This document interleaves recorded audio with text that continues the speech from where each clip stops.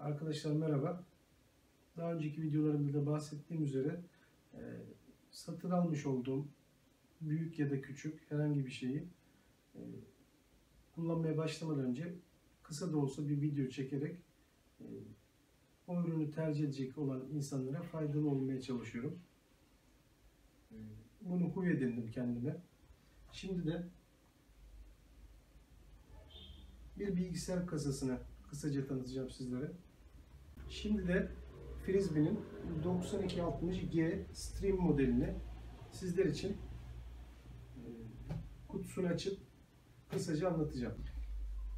Şimdi konuyu çok fazla uzatıp izleyenleri sıkmak istemiyorum. O yüzden maket bıçağımızı alıp direkt kutu açılımına geçiyoruz.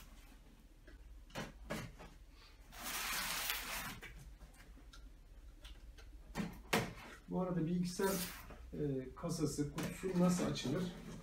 Nasıl kutusundan çıkarılır? Onu da hemen göstermiş olayım sizlere. Siz siz olun. Kutu, kutuyu açtıktan sonra bu şekilde üst taraftan kutuyu e, çekmeye çalışmayın. Ürünü çekmeye çalışmayın kutunun içinden. Zorlanırsanız ürüne zarar verebilirsiniz. En basit yolu şu. Hemen kutuyu ters çeviriyorsunuz. Olduğu gibi, olduğu yerde. Bunu yapıp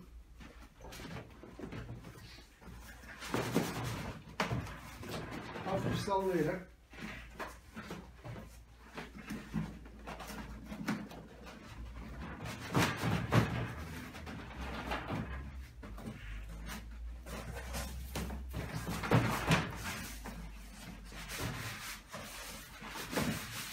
hafif sallayarak kutuyu çıkarıyorsunuz.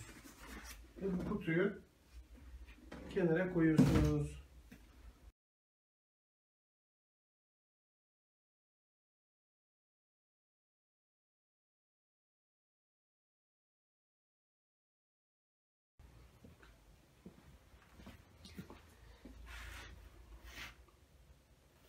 Arkadaşlar kasamız bu şekilde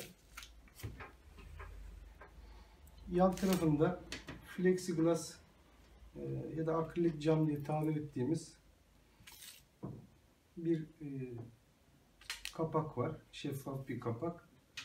Videoda çok iyi çıkmayabilir. 4 adet civata tutuyor bunu.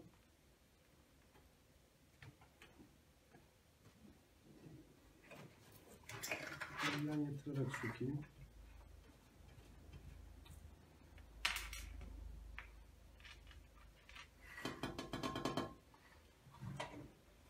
Yani cam olamaz herhalde. Cam gibi ses geliyor.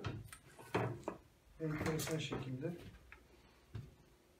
Şöyle biraz daha yakından göstereyim.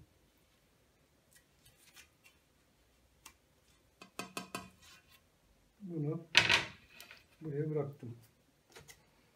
Şimdi kasamıza gelecek olursak içini de daha yakın çekeceğim ama Şimdilik şöyle bir ön kontrol yapalım. Bir adet kullanma kılavuzu. Bir paket ihtiyaç duyabileceğiniz civatalardan konmuş içine. Bu modelde power supply aşağıda konumlanıyor. RGB ışık kontrolü bir adet fan ön tarafta arka tarafta pardon. Ön tarafta sadece bir ışık barı tarzında bir şey var.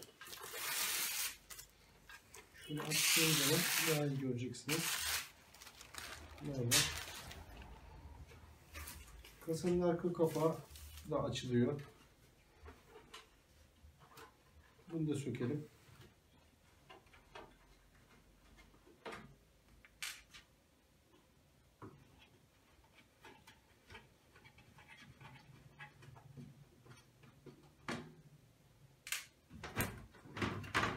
geriye doğru çıkarılarak gayet basit sökülüyor. Bu şekilde. Made in China. Çok yaşa Çin. Küçük bir sürpriz. Şu kısım biraz eğik geldi.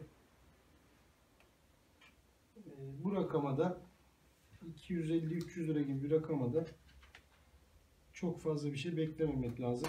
Et kalınlığı olarak söylüyorum bunu. Üst kısımda bir tane mıknatıslı manyetik kenarlı toz filtresi.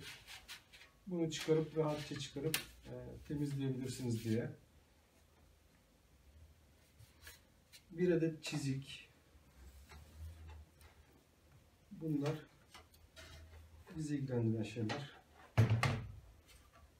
Üst tarafta açma kapama reset e, hard disk ve power ışıkları ses e, giriş ve çıkışları 2 adet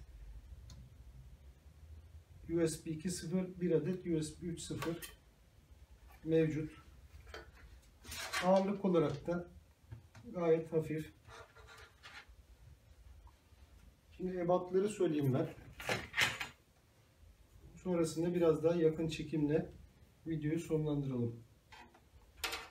Kasanın zeminden yüksekliği yaklaşık 44 santim. Enlemesine 34 santim. Şimdi bu kasaya nasıl bir anakart sığdırırsınız? En büyük sorun bu. Yaklaşık olarak söylüyorum. 24 santim eninde ve 30 31 santim 32 santim boyunda anakartları bu kasaya sığdırabilirsiniz. Bunlar kablolar bağlanacak. Topladıktan sonraki halinde e, çekeceğim zaten kısaca.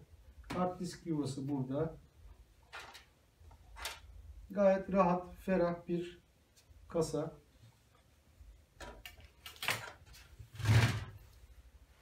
Şimdilik söyleyeceklerim bu kadar.